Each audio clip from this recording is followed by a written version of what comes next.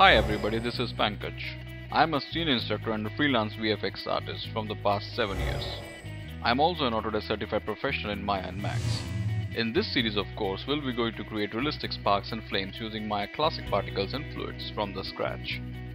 We're also going to explore the beautiful synergy of Maya particles and fluids as blending of these two great technologies can create almost any effects shot.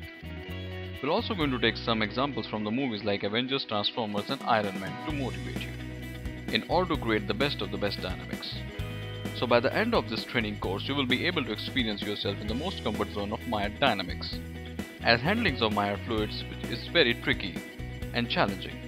So I'm so much excited to share my entire knowledge with you so see you soon.